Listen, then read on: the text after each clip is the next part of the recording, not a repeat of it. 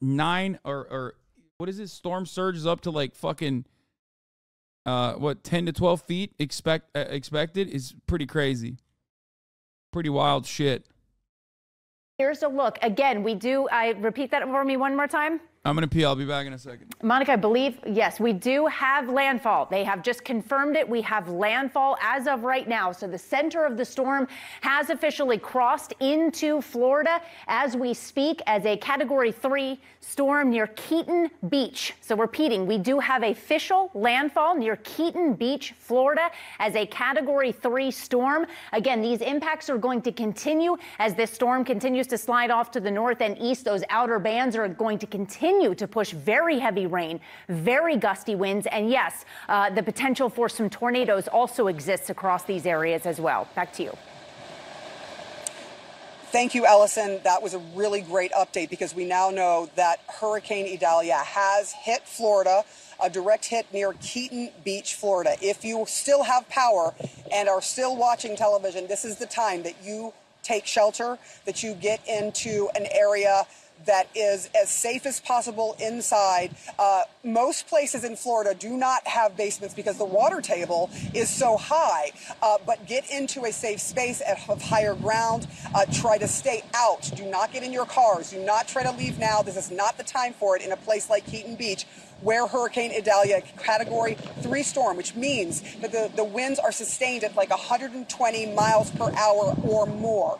Uh, please, please, please do not go out in this. Don't play around with this because there will be projectiles that will be whipping around that can really injure you and make. Like what we're doing currently. like we're doing that because we're professionals. You know what I mean? Guys, guys, we're professionals. Chill.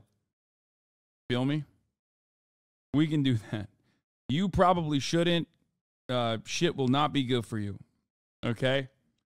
Don't even think about it make some serious damage to property. All right. Now that we know that the storm uh, has hit there, what I can tell you about some of the other parts of Florida, the storm has passed us by, but look at what's happening. You're still seeing these wind gusts. You're still seeing, because this is a very powerful storm, and you have the outer layers of the storm that are still very active here. Uh, we are in Crystal River. We are probably more than 50 miles away from uh, where the storm is hitting landfall, and yet there are still effects. We are seeing flooding. The water, we are now, we have now got, come up about three feet because the water has now come up uh, several feet from where we were standing moments ago. Uh, so we are seeing some of that storm surge. It is the water that is going to cause the greatest problem likely with this storm, especially now that it is no longer a category four storm. It is the storm surge. Please, for God's sakes, be safe. Try to get your pets, if you have stayed in, try to get your pets into a safe spot as well. Let us go now to Derek Van Dam. This is like that serious but not so actual serious talk you get about drinking alcohol as a minor. He is in Tampa. The storm has passed by, but you'd never know it because where he is, it is inundated with water. That storm surge having a serious effect on Tampa. Yeah, you know, Sarah, with the National Hurricane. I can't make up my mind about how serious this is until I see little Rhonda in those boots, okay? Kicking it up. Center just calling landfall on Keaton Beach. This is the strongest hurricane to impact the Big Bend region in over 125 years. And get this, folks, this is the third land. Dude, I don't know how the fuck you leave your pet behind. I'm not gonna lie. That shit is crazy to me. Okay. Like, I, I don't know how that is possible. I don't know how that happens. Uh, I don't know how that could possibly happen. Like, how the fuck do you leave your pet behind? That's like a member of your family. You know what I mean? If you had a cat, you would stop playing, bro. Yeah, 100%. But that's why I don't have a cat. I'd be like, yo, that cat can deal with it on his own. You know what I mean? No, I'm just kidding. My buddy wasn't allowed to bring it and his wife was pregnant. No, there is, I can't see a way I do not see. I, I'm sorry. For me, I'm not even kidding. There is literally no difference between leaving your baby behind. Like, it, there, I just don't like. I don't see a a, a world I do not see a world where you're just like, okay, well, I'm just to leave my child behind. You know what I mean? I'm going to leave my baby behind because I can't bring him.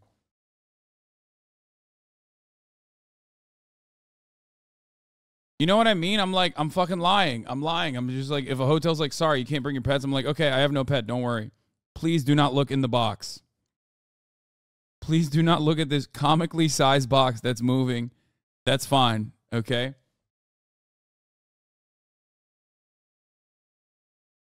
I was refused during two different hurricanes to enter a shelter because I had a dog.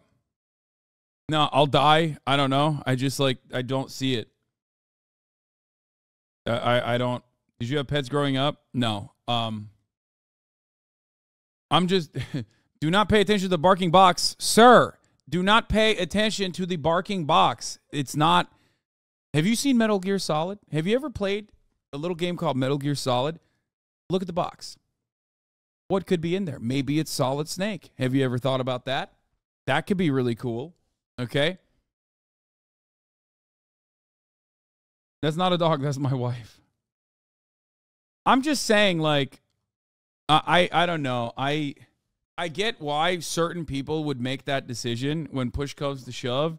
I'm simply stating that from where I'm standing, from where I'm standing, like the way I uh the the way I I value uh Kaya's life, there's just no fucking way. I I, I would never there's no way.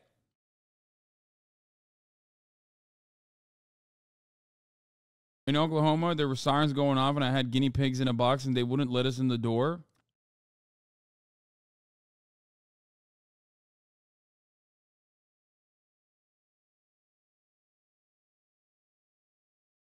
Am I crazy for this? I mean, you guys do your own thing. If you if you care about your own life, you know, have fun. I don't. Like I I don't know. Maybe this is a very white trait of me or something, but like I straight up I straight up value Kaya like a family member. And uh in a situation like this, I would just I would be like, "All right, I'm tanking it. Like I'll I'll die, I guess." You know what I mean? Sorry. Okay. We're not going to the shelter then. Glad you said it and not me because I'd get banned.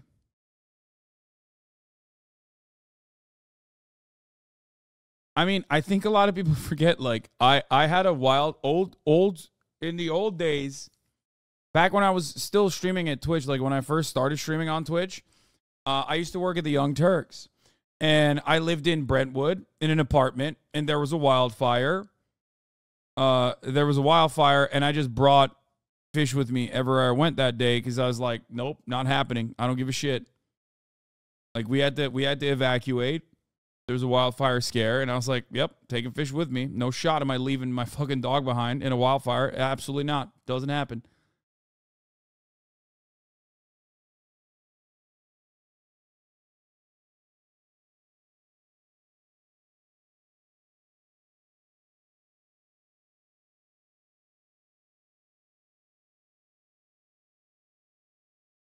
People are allergic to dogs, so probably why they wouldn't let people know dogs yet tank it. That's my take. I don't think people are understanding. I'm saying, I'm saying that like I value this dog like she is a part of my family. Like, you know what I mean? I'm allergic to your dumbass baby crying. Okay, you don't see me complaining. It's times of need. You know what I mean? It happens. to be fair, though, you are talking to a person who thought he was deathly allergic to Kaya. If you remember, like deathly allergic. Like I was, I got eczema for the first time in my life. I went deaf in one ear. Luckily, these were all issues that happened to coincide, and it wasn't like deathly allergies. But immediately, the one thing I did, you sound like such a redditor. I mean, that's a joke. The the kid thing is a joke. I don't. I'm I'm kidding. But um, the the uh, the first thing I did was just like, all right, I'm tanking it. Like, can you? The first thing I did was first thing I did was look up like, can you die from uh, uh, allergies to dogs, and also uh, how can you can you just live with the rest of your life having a dog, even if you are allergic to your dog? Didn't you get eczema in 2021 from all the stress? No, I didn't. I got uh uh what the fuck was it called? Uh, uh hot uh, shingles.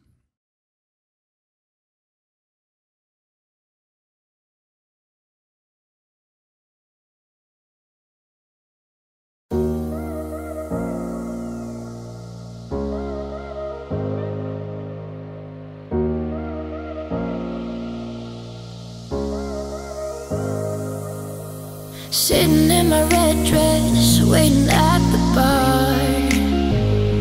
I know that I am running out of favors, but can you pick me up? I could catch a bus, but I'd rather be in your car. If someone has a service dog, ADA says allergies are not a valid excuse to not admitting them to a public place. There you go.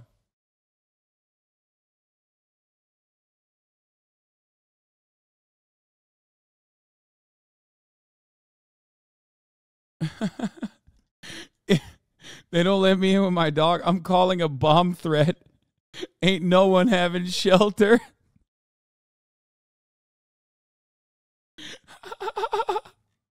what the fuck?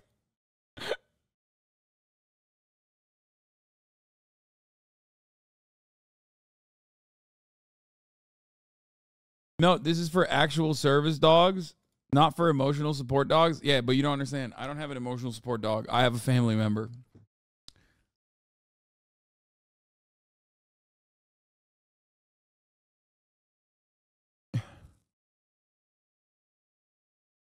Okay.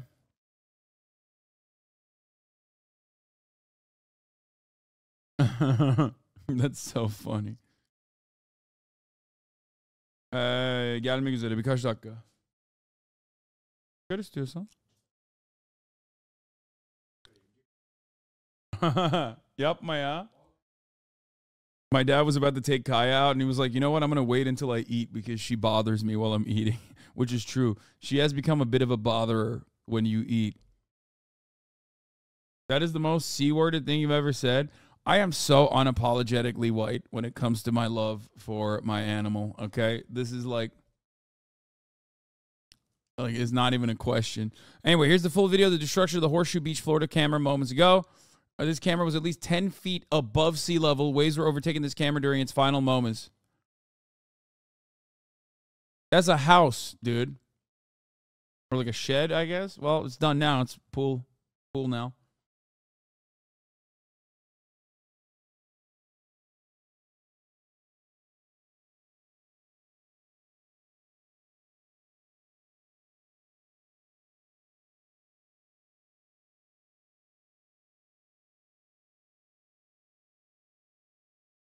That shed pavilion thing was a fucking trooper. I mean, it seems like it's tanking it right now. Dude, look at how gross that water is, dude. Holy shit. Storm surge is so nasty. It's just all poop. I feel like it's all poop and like bacteria that uh, you haven't seen in a very long time. You know what I mean? Just like new, newly unearthed bacterias. God, Twitter fucking videos so ass cheeks. Why is it a white trait to love your animals? That seems kind of whack. You would say that race has nothing to do with love for one's animals and things. Okay, everybody, stop fucking. Shut up. Shut up. It's a joke. Okay, it's a fucking joke. It's a joke about how white people care more about like their own dogs or even other people's dogs than they do about like uh, other people, other humans, whole ass human beings. Like, it's a common trope. It's a meme. It's a stereotype. It's a joke. Oh my god. Ugh.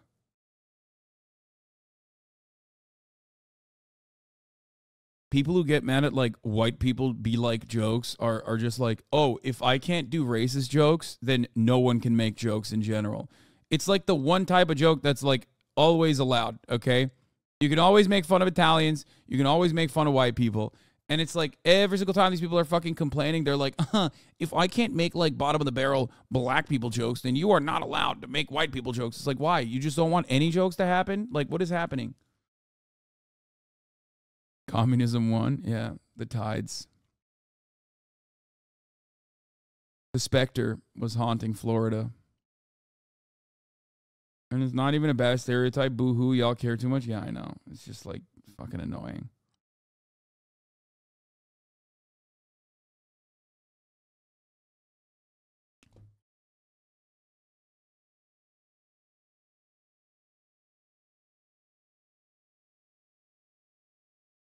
Getting offended for not understanding a joke is the most 2023, 2023 thing ever. No, it used to be worse. I am a firm believer that I am a firm believer that uh, getting mad at jokes that you don't understand used to be way worse back in the day. And then people would like actually unironically, uh, you know, pursue campaigns and shit. Okay, like they would they would do like mass harassment, mass targeting for not understanding a joke or whatever and then uh, make it seem like they were uh, literally championing this like incredibly moral cause. And uh, there was a lot more momentum for stuff like that. Nowadays it still happens. Like people still get mad on twitter but it just stays on twitter. Nobody gives a shit anymore.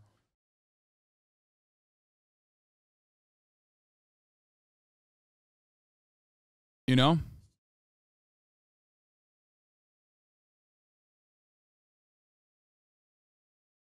Um, okay, let's keep going. landfalling going. hurricane in Florida in 12 months.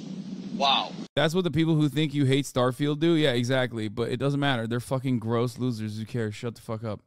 You're irrelevant. What is this? Gas stoves, plastic bags, high flow shower heads, functional gas cans, compact trucks and station wagons, plastic straws, smiling faces. Socialists in America are miserable people that destroy anything decent. People like out of jealousy, envy, and rage. So um, one thing that uh, the Libertarian Party of New Hampshire failed to write in this uh, in this Twitter post was um, the the uh, age of consent laws and the abolition of age of consent laws because they are pedophiles or at least pedophilia defenders. Famously, the uh, New Hampshire Libertarian Party account is run by a woman who is 100%, this is not a joke, this is not a meme, dating a convicted pedophile in prison okay, and has actually defended uh, uh, pedophilia. So uh, that is a real thing. Uh, don't ever take these guys seriously, obviously. That's the real thing that they're upset about, not plastic bags or whatever. Okay. Oh, shit. Lost it. Let's Here's a look. Again, fucking... we do. And just walk with me and help paint this picture because the surge is still coming in from Tampa Bay. We checked one of the tidal gauges near where we're located. It is currently at record levels, five and a half feet of storm surge near the tidal surge gauge that is closest. You got to mention on PoliticsJOE today talking about how young rich people are the most Thatcherite and a UKU is needed. What's PoliticsJOE? I don't know what that is. To me. Uh, that is incredible. Records go back to 1991. So we're in record territory, and this is all working together, almost in a symphony of uh, cataclysmic events, right? We have not only a powerful major hurricane pushing up the water across the eastern sections of the Gulf of Mexico, a very shallow water basin, by the way, but we also have inland flooding that is moving from the from it from the ground towards the ocean. So these working together in conjunction, they meet in the middle and they rise up the water levels. That is also being combined with the impacts of a full moon, which is a supermoon, and that has that great tidal swings with the highs and the lows. So even though we're nearing a low tide in Tampa Bay, we're still getting the surge and the impacts uh, from this storm that is 200 miles away from us. Just incredible. Sarah. It is incredible. I love what you just said there. That was po- very poetic. A symphony of cataclysmic events. Supermoon, baby. You already know werewolves are coming back. Dude, cataclysmic events, dude. Cataclysmic events. God hates Florida. God hates the South. I'm sorry. Not enough butt sex happening. We already covered all of our bases yesterday. If I was a pastor in Florida right now, I would be urging my congregation, okay, to engage in the divine act of male on male love. I would be urging people to open up their butts and and uh, and fuck one another in an in a you know, devastatingly uh, hedonistic orgy because it seems like a lot of places that are engaging in such libations uh, uh, seemingly, seemingly are not being impacted by God's anger. Open up your butts. It's time for the fuck pile. It's time for the top of the hour ad break. It is no accident that God had forsaken us on this beautiful, blessed day. Two hurricanes on a supermoon. No flood insurance. Libation means alcoholic drink. I know it's the is the Christian way.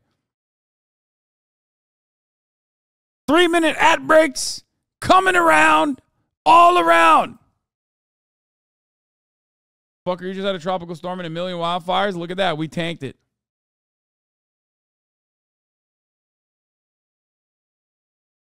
God demands you to do gay sex, and He demands you. Hey guys, and welcome back. What? TikTok sexy sexiest Wattpad show? What the fuck? What is this? No. God demands you to subscribe at the top of the hour when there's a three minute ad break. Divine intervention in the form of three minutes of ads coming for you unless you subscribe. For $5 or for free, or with a Twitch Prime, that one is free, or by getting gifted a sub. Here's the three minute ad break now. It's a good chat chat bit. Okay. South Carolina right now.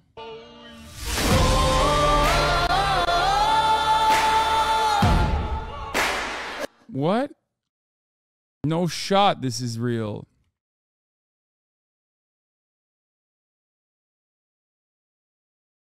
Bro, how are you driving in that and filming, by the way? Like, this person is literally driving and filming this.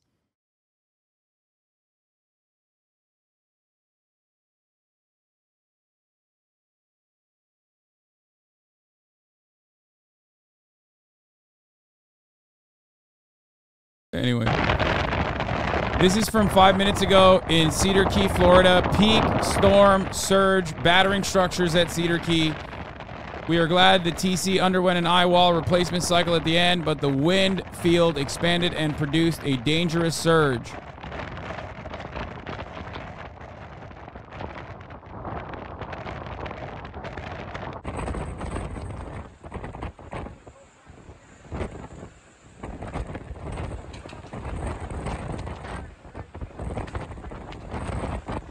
Oh, there was a brief tornado in Goose Creek. Okay.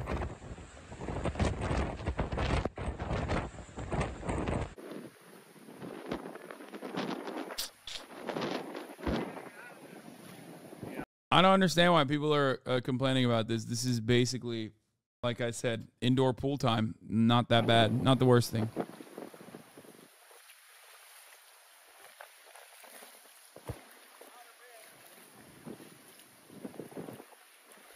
All of a sudden, you got an indoor pool.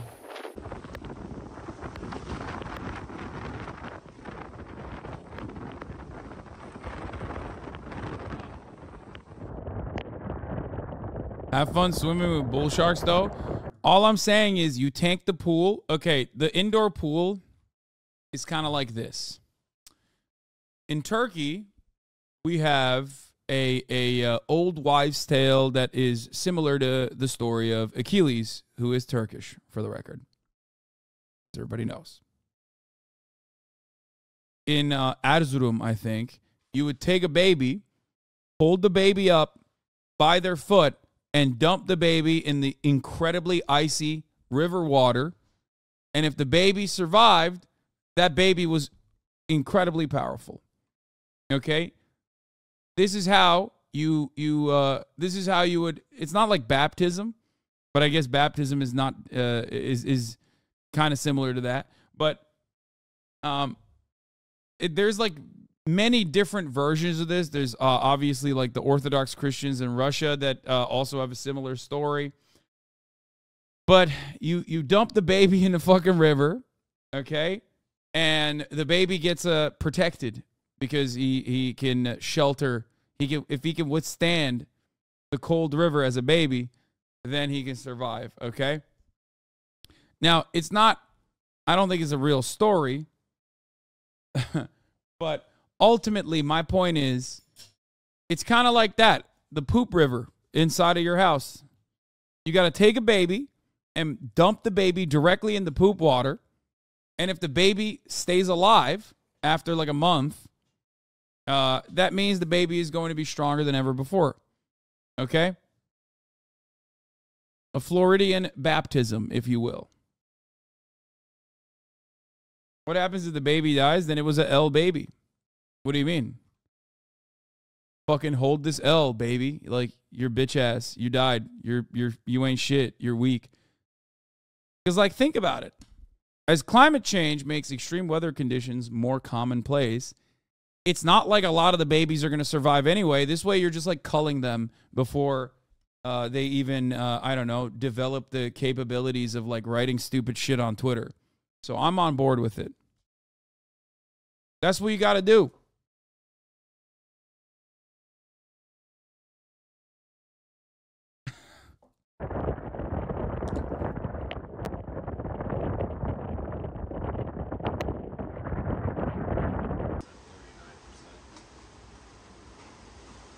Yeah, this one's about to be dead. Whoa. How long do I leave my baby in? Mine's just floating right now. Yeah, that one might been a that that one might have been a broken baby. See a lot of the debris as well. And it just seems to continue to rise. Just big westerlies here. Coming off of Cedar Key. Big time flow up. Uh, turn the baby on and off again. And if the problems persist, you might have to you might have to pop it back in the oven. You know, Here. Put the baby back inside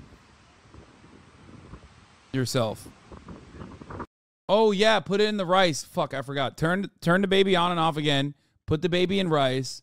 After 24 hours, if the baby is still not working, then you know you just you just got to put it back in.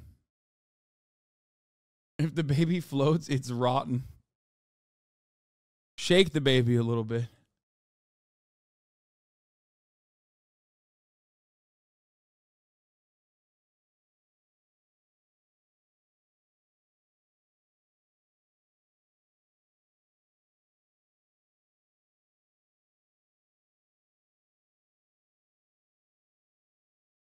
Random Hasan straight compliment. If you got rid of all the buildings in the in the square area of Los Angeles, you could take every human being on Earth, put them shoulder to shoulder, and they would fit inside the, the city limits of Los Angeles. Anybody? Kaya, come here. Kaya. Everyone says they don't believe that. Well, let me tell you this right now. Shoulder to shoulder, standing up. Average uh, shoulder width of everybody would be about what three feet. Put three people together, a foot wide. That's three by three. So three people would be uh, nine square feet. So nine billion square feet times, and there's what eight billion people. So whatever. What's the square footage of Los Angeles County?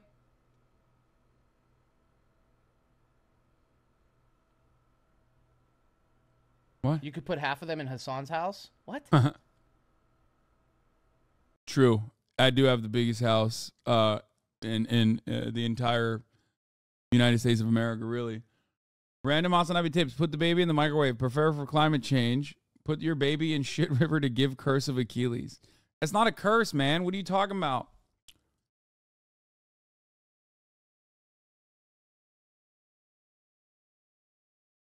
What do you mean a curse of Achilles? That's just a strong ass baby. It's a curse if your baby doesn't survive. It's not a curse if your baby does survive. The entire point is the baby is supposed to survive. Okay? Understand this.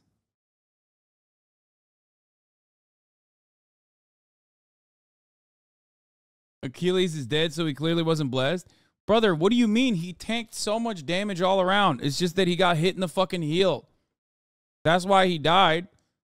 events all coming Fuck into you mean? Florida, we should mention once again that Hurricane Idalia has made landfall in the Big Bend region of the west coast of Florida. It has made landfall. It is hitting. That means the eye is going to be uh, coming onto shore, and then those winds that whip around the other side of the eye, which can be even more devastating than the initial winds, that is happening right now. You are looking some of live pictures, um, and and we want to show you some satellite imagery too. That'll all be coming up. We're going to visit with someone who is writing out this storm, this very dangerous storm, in just a few moments. This is the way the baby grows But up the if it area of survives. major concern, even as this Yeah, literally, dude. Charlie is Charlie is a is a perfect example of a baby that uh, survived the famous uh, Florida baptism.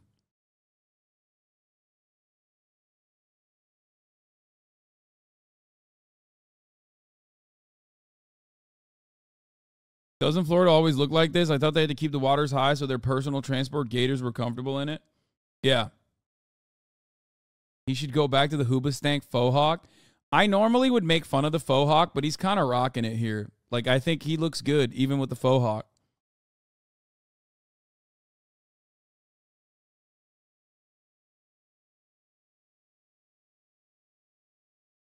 Can't wait to see Charlie's twink death. Oh, come on, dude. This hurricane moves inland toward Georgia. Still as a hurricane, the major areas of concern are along the Florida Gulf Coast from Tampa all the way up through the Big Bend, where they are experiencing historic and devastating storm surge. I want to go right to Bill Weir in Steinhatchee in Florida. You know, not it's about an hour and a half from where I am right now driving, but it's a world away in terms of the level of devastation. Bill, just describe what you're seeing. Well, John, uh, the good news is it seems like the surge has crested here in Steinhatchee. You can see this uh, line of debris. There's some boxes and logs here. It has been receding ever since, uh, but the devastation it is leaving behind is obvious. This is the dockside grill here. Uh, the Steinhatchee River rushed its banks. We knew that was going to happen. It normally runs from east to west. Uh, we're looking south right now. The force of the dirty side of this storm has been forcing so much water upstream against the current here. And the victims of that are all these fishing community villages, uh, condos, communities. There's not a whole lot of development around the corner this way. Most of the town is behind us on higher ground, so that's good news. But where you were yesterday, John, the Sea Hag Marina, all of that we fear might have been wiped out as, as it's sort of the first bend in the river coming off of the Gulf of Mexico. So all the people who lost their homes and business are they fucked or do they have insurance? Uh no. So I don't know for each individual person there, but I do know that Florida no longer has uh, uh homeowners insurance. Uh so I don't know if they have it or not. Some of them might be lucky enough to have it, but a lot of them don't. I'm calling out love, calling out love. I need somebody, somebody who can show me love. You know somebody, somebody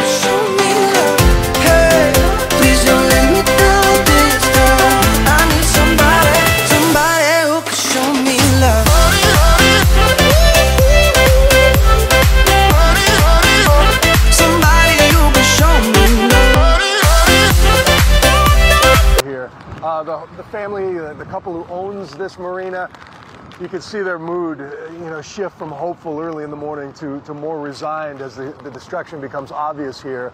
But we're also starting to see people drive around, which is probably not the wisest move right now. There's still gusts that are kicking up, not as bad as we saw a few hours ago, uh, but you can understand people's instinct to want to check out the damage, see what survived, what didn't. Too soon for that, to say the least. John? All right, uh, Bill Weir, and again at the top, but just to be clear, you said for now at least the, stir, the surge seems to be going the, the other direction. I know the tide could still come in more, but for now, uh, the worst seems to have passed. Yes, you can see that it's a very clear line where the where the the high water mark left its debris there, and it has been receding now fairly steadily. I live in Florida. Just got notified my homeowner's insurance is going up forty percent next year. I, hey, dude, it's at least you have it. I thought that like most of the insurance providers in the state of Florida had completely uh, been gutted, like Chapter 11 bankruptcies left and right, uh, and that they were actually setting up secondary insurances for the insurance companies, and even those guys were having a hard time because uh, you know it's just inevitability that your house is going to get fucking flooded if you live in Florida, especially in certain areas, and that it makes no sense to insure them. California and Florida both have mass exodus, but some companies will stay and jack up premiums. Yeah, same similar problems happening in California as well, especially for wildfire insurance. Another company avoids risky Florida home insurance policies. Here's what caused the crisis. AAA uh, said only a small number of policyholders will be affected. The move shows continued market volatility has prompted several insurers to shutter or leave the state.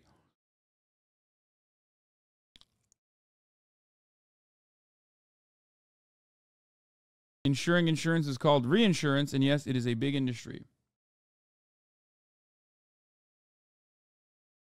Insurance industry guy here. The federal government is forcing non Florida insurance companies to enter into funding pools to insure Florida because no one wants to insure it themselves anymore. Damn. Uh, that's kind of fucked up. Federal government nanny state much? Uh, I thought the private market should be able to be uh, the, the free market should be able to cover these uh, issues. What's going on there? What's happening? I entered a Savannah, Georgia zip code and Geico Insurance, and they wanted me to call in. Hi, Mr. Pecker. We are sorry. Online quotes in your area are not available. Please call us. You, son of a bitch, Mr. Pecker.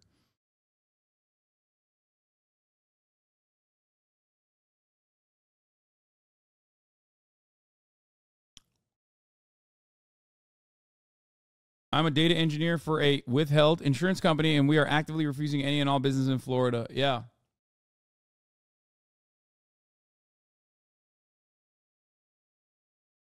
Do you think there should be a state provided insurance? I think there should be state provided housing and not in the areas that uh, it currently is in in the state of Florida or everywhere in general. But I don't think it's going to happen, especially in Florida, because Florida is like a libertarian paradise.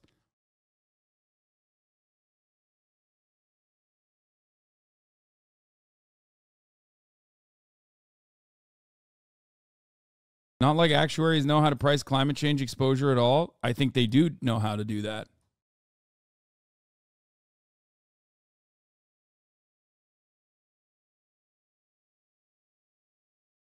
Which is why they're no longer insuring in Florida.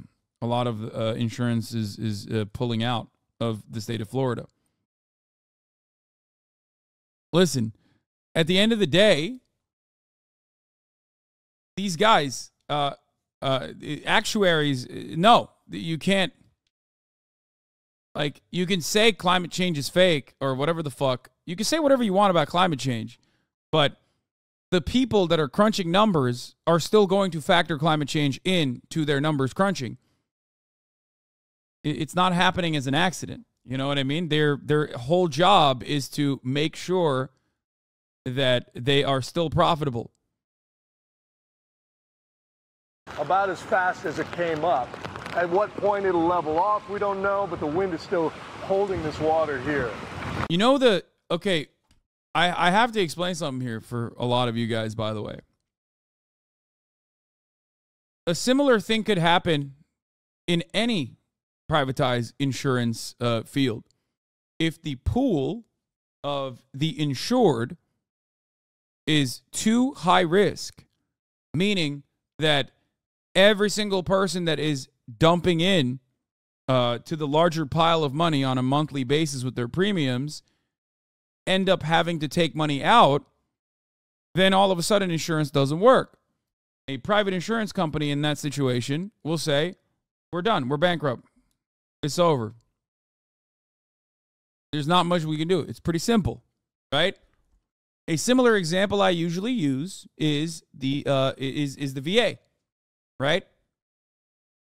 The VA relies on government funds. It's the closest we have to socialized medicine. However, the VA has a pool of people that are all sick. Like pretty much every single person that even goes through basic training is going to need some level of medical attention. If not all of them, are going to need psychiatric evaluations and help in general. Okay? So, because that pool that is uh, under the coverage of Veterans Affairs, because that pool is all in desperate, dire need of uh, health care, there is no not sick people to leverage against.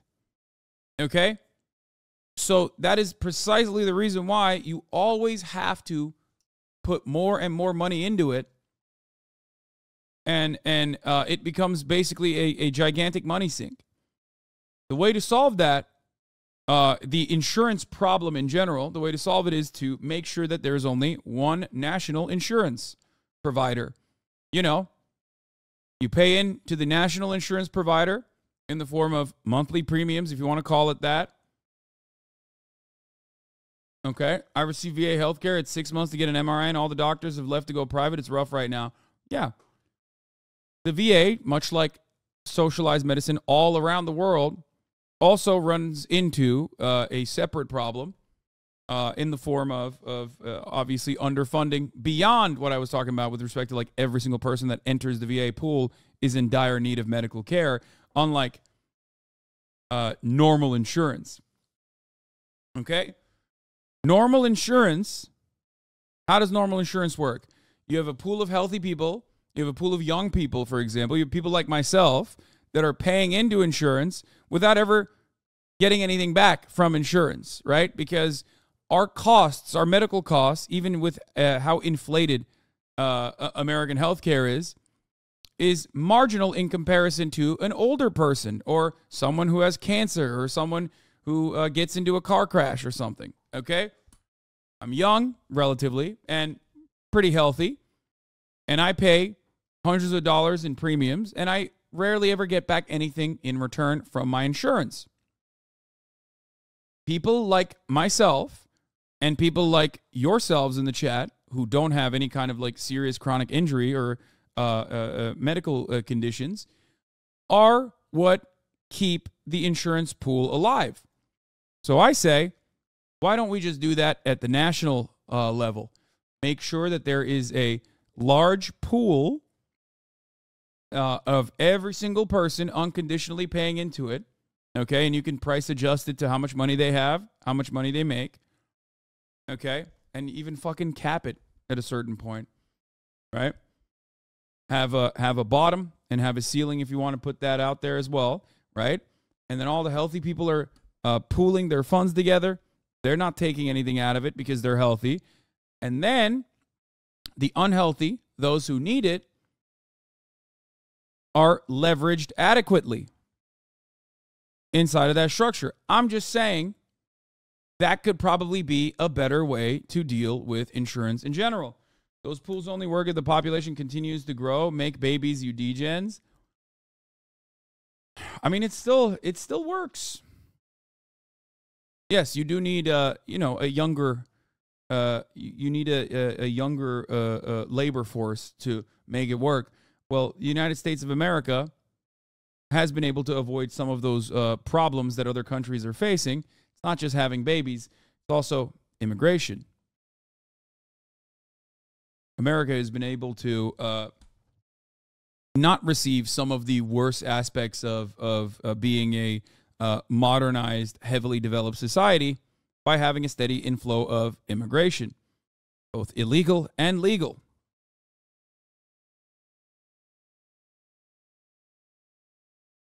Or hear me out, we don't fund it like an insurance scheme.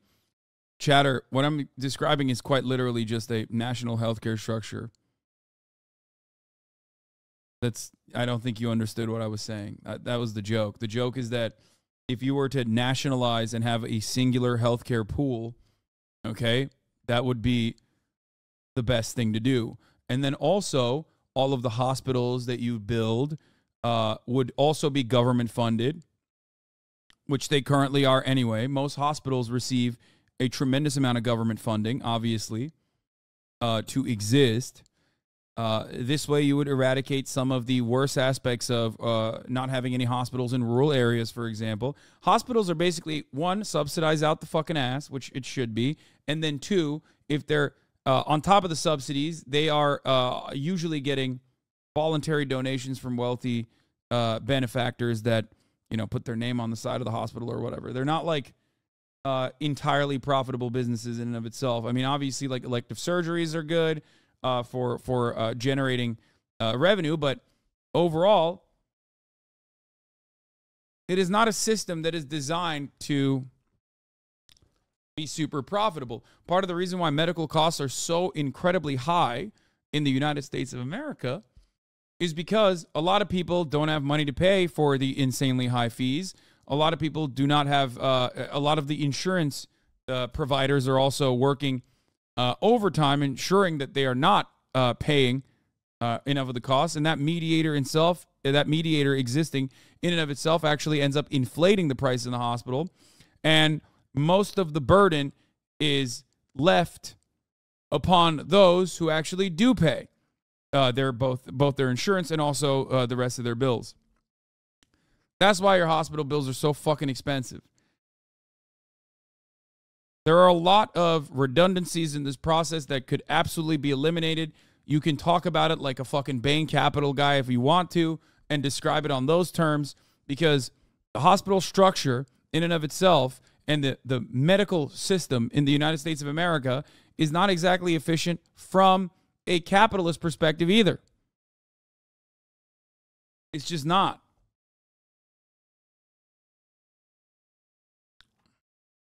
Obviously, there's issues in every step, uh, in every direction. But you sidestepped the original question that started this convo. What does the government do for people living in flood areas now? Build a house for them and displace them? It seems impossible to solve. No, I don't think so.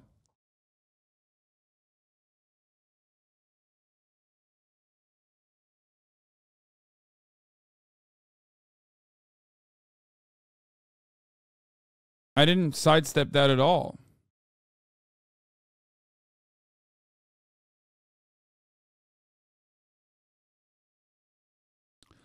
It's just called a risk pool, right? Doesn't specifically have to relate to insurance. Conservatives always say they don't want to pay for other people's health care, but they already are. Yeah. Um, Health Justice Now is a great book. Check and check out on this subject. Yeah, and when people don't get preventative care, emergency care costs more. I think if the government also was uh here's another here's another aspect of this. If the government was also responsible for funding your health care across the board, like directly and not just simply offering subsidies to these insurance providers, uh, these pharmaceutical companies, these hospitals in general, and like creating a patchwork solution that is just funneling money into the private sector and into the pockets of whatever shareholders are are invested in these uh, aspects of the medical industry. Um, if that was the case, then they would have a vested interest in your health. They would have to ensure that you are healthier than you actually are currently. For that reason, they would probably implement things that most Americans would consider draconian, as a matter of fact. One thing that I was talking to with my uh, uh, French friends was uh, in France, apparently, free refills for sodas are illegal. Um, why are they illegal? Or not illegal, but like you just have to pay for it. They're not allowed.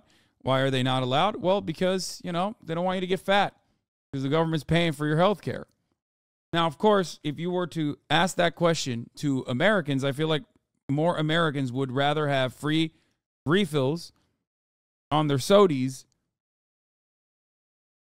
and then, you know, tank it and fucking die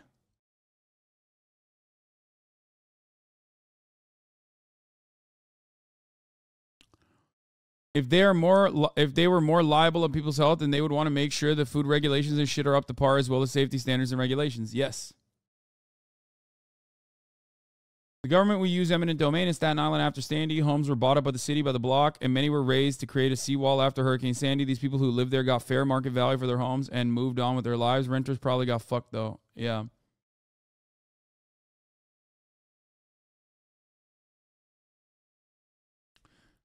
It's worth noting that less than 10% of your hospital bills you use to pay the doctors and actual medical workers. The other 90% is for insurance companies, CEOs, and hospital administrators that provide absolutely no value and don't contribute to your health care at all.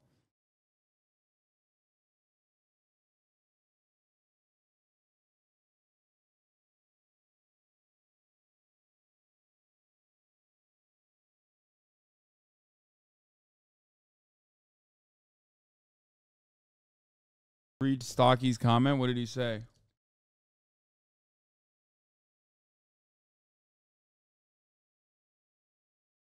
Free refills are a constitutional right as long as we keep subsidizing corn. It's like how citizens of Gulf nations get free gas. I agree.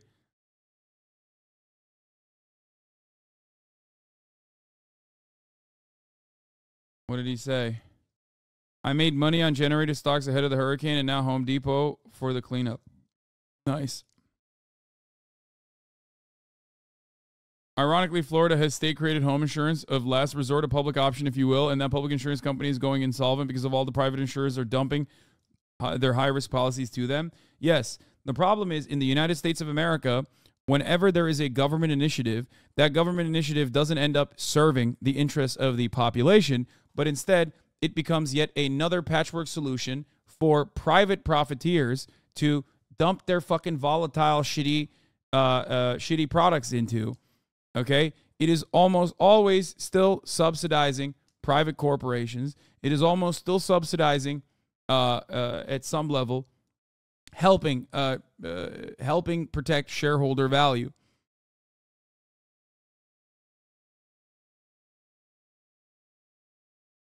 Why the state should support and bail those pieces of shit big pharma? They won't move a finger to help people at all. What do you mean?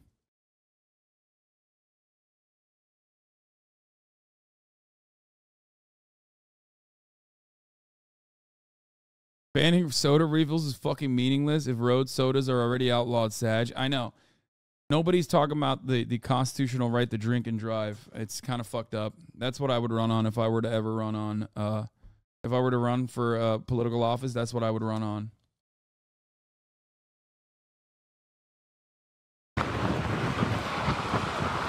All right, the wind is holding the water there. Uh, I am very sorry to hear about the family that owns the Sea Hag, that marina, uh, that that marina may be gone, although um, it is heartening to know that they themselves are okay, and that's what's truly important. Bill, every once in a while here we do get this really just pounding rain. What are you getting in terms of rain there?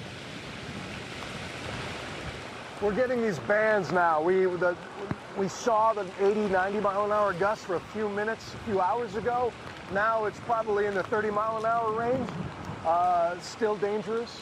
We're taking shelter behind one of these grand trees that are here. Uh, but we've seen plenty of this, you know, corrugated steel sheeting, tin roofs blowing around, uh, peeling off here. But again, just to sort of level what the locals were telling us, last night we went out on a just short boat cruise in the calm before the storm with a local captain here who said he was worried that the surge would reach the roof line of the dockside grill right there. You can see it, it came up a few feet in, inside, but nowhere near their worst fears. That gives you some perspective that probably could have been a lot worse in this area, but as, as far as what's happening further up, Keaton Beach, all of that, we don't know yet. It's too soon to tell. Is it necessary to put those guys outside, or is it just for the fun of it? Uh, it's it's a bit of both. I have knees. Thank you for the five tier one give the subs. Um, I think it's it's it's definitely not necessary, but also it's very cool that they do that. It's like a tradition at this point, and I I kind of like it. I'm not gonna lie. Like you you just get a better feel for the devastation, right? That's right. We don't have eyes on some of these other areas where the storm surge could be even worse. Bill Weir, thank you so much uh, for that perspective. Please stay safe and please keep us posted over the next several hours as well. If any, wait, what? It's so stupid and dangerous. Yeah, okay. Well, it's fucking boring if they're doing it from inside of the studio. Okay. I mean, come on. Floridians could see major hurricanes hi- hikes after Idalia. Governor DeSantis on insurance from July 12th. So knock on wood, we won't have a big storm this summer. Then I think you're going to start to see companies see an advantage. Yeah.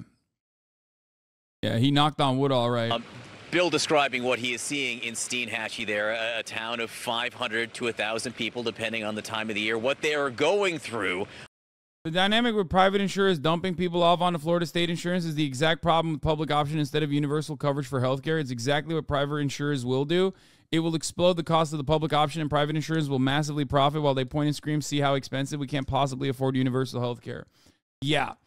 Um, That is what they have done with the VA as well. I mean, it's just every aspect of the American medical field is just completely inflated, completely fucked. Um, it doesn't make sense from a capitalist perspective either, unless you're just like pure grit, pure profit driven, and you think like, no, some people got to make money in this field. Uh, like even from even from the perspective of like you know uh, micro macroeconomics 101 like principles of, of microeconomics principles of macroeconomics like it's it's there's inelastic demand in the uh, healthcare uh, field therefore they can do whatever the fuck they want with it they can get away with uh, you know raising prices. They can get away with any kind of cost cutting measures for the most part. Uh, if there was no government intervention whatsoever it would be even worse. And with the marginal government intervention that we have uh, oftentimes on top of the advantageous position that they're in, they end up uh, taking advantage of all matter of regulations to eliminate the rest of the competition in the marketplace. They take advantage of any kind of like government intervention in the form of subsidies to uh, increase their profits. Uh, it's just, it's immoral. It's absolutely awful. I don't know. I don't know how else to describe it. It's just, it's so selfish. It's so bad. So parasitic but I don't think we will uh, make a significant change in this uh, in this area ever. It doesn't seem like it, at least. Sorry, sorry to be pessimistic, but. Uh, which is quite bad and, and still developing right now. Let's go now down to Tampa, obviously one of the major metropolitan centers of the state of Florida, where while the storm did not make a direct hit there, not at all, the storm surge there has been a serious issue. Derek Van Dam is. And when you talk about like doctors striking, in the UK, for example, you have to remember something. The Tory government has implemented 10 plus years of austerity with the express purpose of privatizing certain sectors of the national healthcare system. They can't immediately eradicate it, so they have to cripple it, starve the beast, if you will, until people lose confidence in the system. Okay? That's it. That's how it works.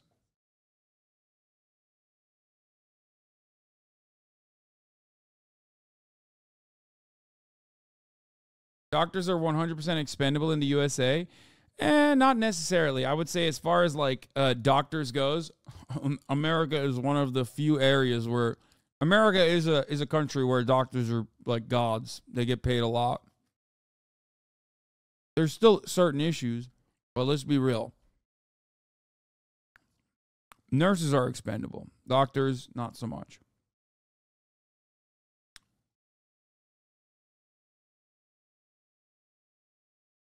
USA still remains on top of on top in terms of medical innovations, especially within niches. That is not true. This is completely objectively false. If you look at novel chemical compound uh, developments, if you look at innovation in novel chemical compounds. The United States is not the leader in novel chemical compounds innovations per capita. Not. I think it barely cracks the top 10. The United States obviously has more doctors, more money, more people in general. So if you're looking at it from a totality number, yes, the United States leads, but they are not efficient in any way. Just we're big. We have a lot of people, we have a lot of money, we have a lot of brain drain. So on that front, yes, we are number one in totality, but in uh, in per capita numbers, we are nowhere near number one. But you can't do per capita for everything. Why? What do you mean? Yes, you can. Why would I look at a totality?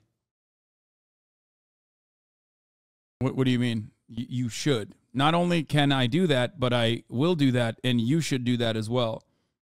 There's a reason why that exists.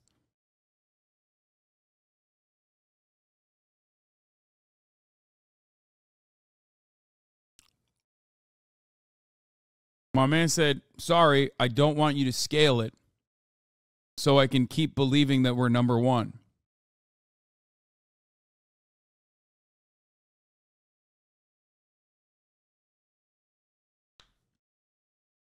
The beginning of Medicare is an interesting case study on how the dynamic plays out IRL. Insurers used to dump both the sick and old off their rolls. Fango Lives is correct.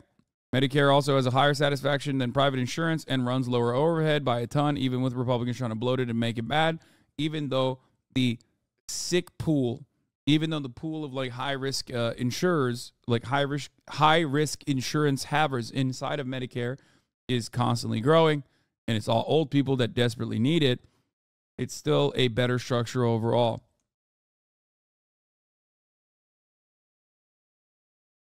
Anyway, and even then, we have had issues with Medicare. Until recently, it was illegal for Medicare to negotiate pharmaceutical uh, prices. The only developed nation on the planet where that is the case, that the government has made itself, has handicapped itself, and has refused to be able to uh, to bargain when making big purchases uh, on pharmaceuticals. Uh, VA was the first to crack that egg under Barack Obama, on, and that only happened in his second term on his way out. And now it has only taken what three fucking terms since then to finally, or two terms since then to finally actually allow certain pharmaceuticals to be uh, collectively bargained at uh, at purchase for Medicare and Medicaid, specifically Medicare. Ah, it's fucking nuts, dude. It's just so. It's so transparently evil.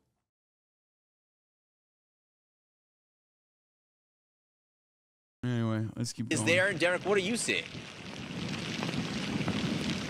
Yeah, and the wind continues to push up the water from the Tampa Bay as well, John. We are getting now these intermittent tropical feeder bands and what was completely visible uh, across Tampa Bay just moments ago has now been obscured by these heavy sheets of rain coming in. Uh, it is raining at quite a clip, probably a good half an inch to an inch per hour. This will cause localized inland flooding. And what's happening is this is all working together to create the very difficult storm surge conditions that you see uh, unfolding behind us on Bayshore Boulevard. Now, this area floods, yes, during rainy days. It happens. But now this is in conjunction with the surge of water that has been pushed up with this major hurricane, the inland flooding meeting it at the same time. And then also the exaggerated tides from the supermoon and the full moon that's happening as we speak. Now, we just went through the low tide cycle.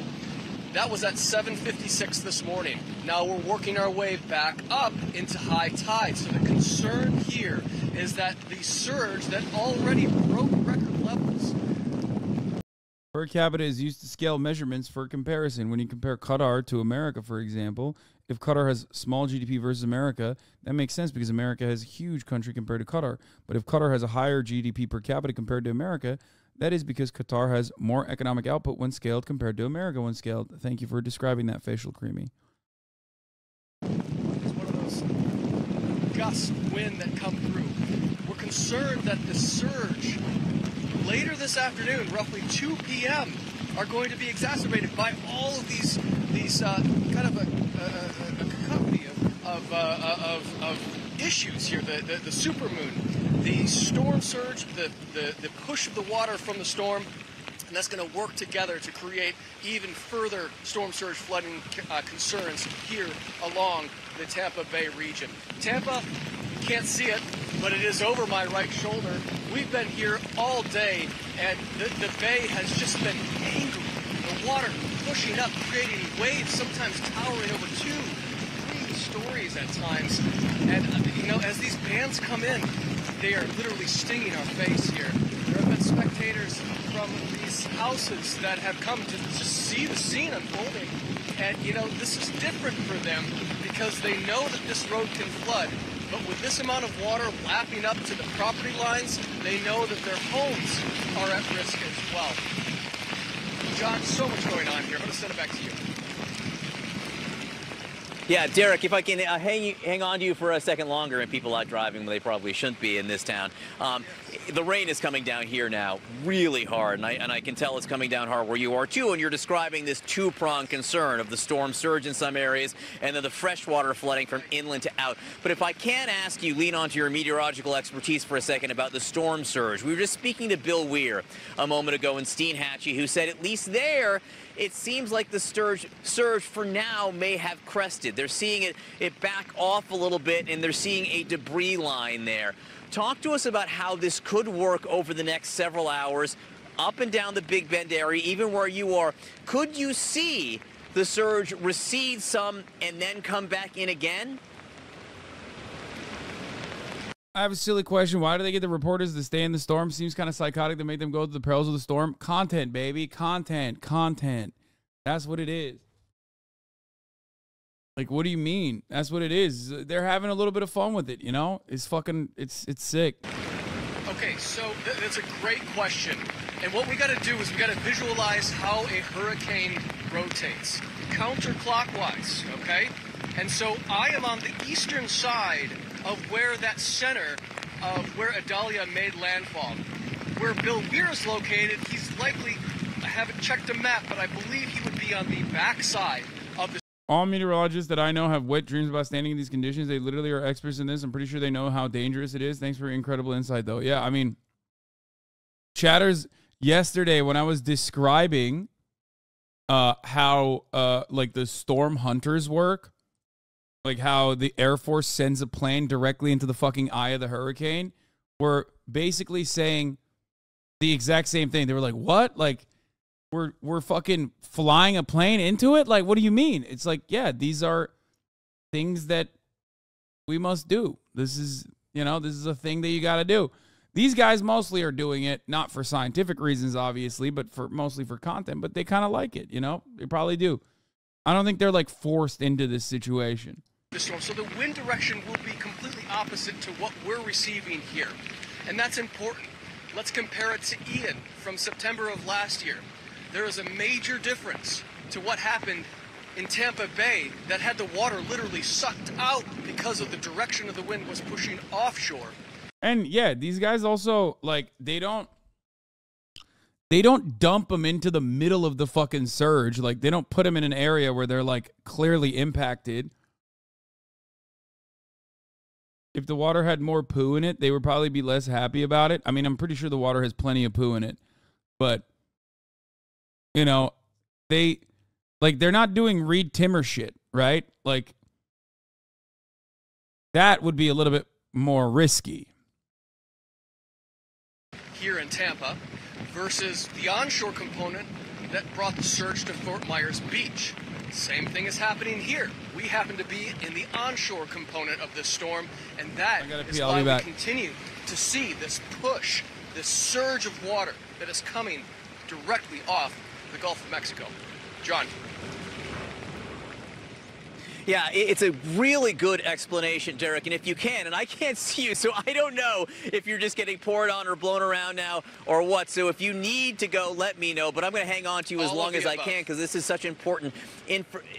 If this is such important information that we're both going to get wet for the time being.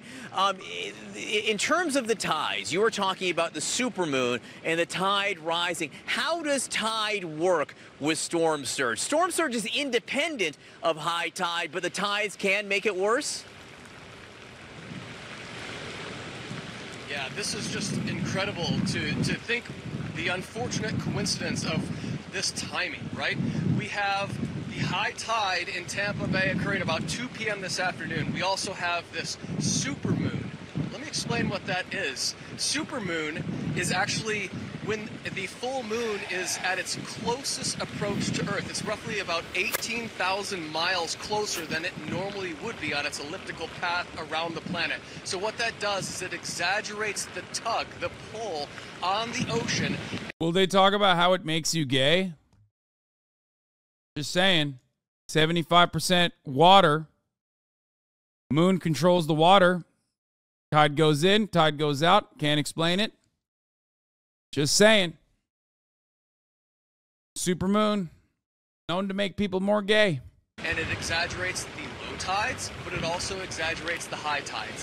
And now that we have what is a hurricane that has pushed up all of this water in combination with this high tide and the supermoon, we have the potential here for more surge in the locations that have that onshore component, like I was explaining to you a moment ago. Our breaking news coverage of Hurricane Idalia continues. The storm is now moving quickly across southern Georgia as a Category 1.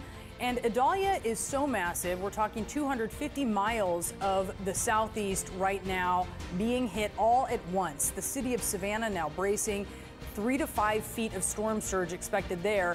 And officials are warning conditions are going to rapidly I mean, I'm happy that like as the day goes on, they went from it's gonna be cat four with like 12 foot storm surges to like in Savannah it's cat one and it's gonna be three to five foot storm surge, which is still pretty devastating, but it's not as devastating and as deadly, I guess.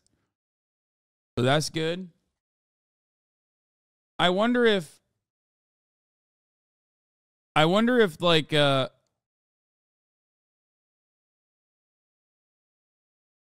like the uh, the the climate change uh, deniers are going to be like, oh yeah, they fucking claimed that this was going to be awful. Like, look at them again. Like, classic meteorologists, like doing doing wrong by the people. You know what I mean?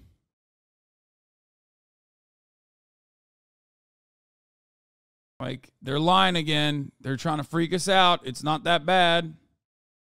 You know what I mean? deteriorate very soon. Right now, search and rescue operations are underway as the catastrophic storm surge on Florida's Gulf Coast is actually still rising in 12 feet were for coastal Florida, not for Georgia. Yeah, but still. some areas. The Big Bend region, that curve in, in Florida's corner there, seeing the worst impact after the storm made landfall as a category three. And we're getting some stunning new video from Keaton Beach. It's showing the moments as the eye of the storm hit. And this is some of the stunning aftermath. A home completely destroyed, the walls and the roof ripped off. You can see a bed inside of the house. Florida officials say two people were killed in two separate car accidents. I would have been nutting right there, dude. This is happening to me. I'm in that. I'm on that bed nutting. One last nut. During severe storm conditions as well. And in Perry, Florida, as the storm hit, winds topped 120 miles per hour. This woman caught the moment a tree fell right on her home. Have a listen. Oh my gosh. No! Oh. It's okay, it's okay, it's okay, it's okay. Oh my gosh. No! They're replaying it over and over again. That's crazy. Luckily, they're fine. Who the fuck mounted that TV? I don't know, but shit stayed. It withstood the goddamn uh, storm. So it's kind of wild, kind of crazy. Um, you guys probably heard if you were uh, listening to the Fear and podcast or the Sad Boys podcast that I was on. Jarvis Johnson talk about how uh, he's from Florida. He's a he's a Gainesville Gator boy, and uh, and how uh, they were really poor, and a tree fell on their house when he was young in Florida, and they just had to like shut off that part of their house, and they just couldn't use it anymore. It's okay, it's okay, it's okay, it's okay. Yeah, that could be genuinely dangerous. Right now, we have reporters covering all angles. Uh, let's begin in Gulfport with Carlos Suarez. Carlos, uh, tell us what you're seeing there in the wake of this.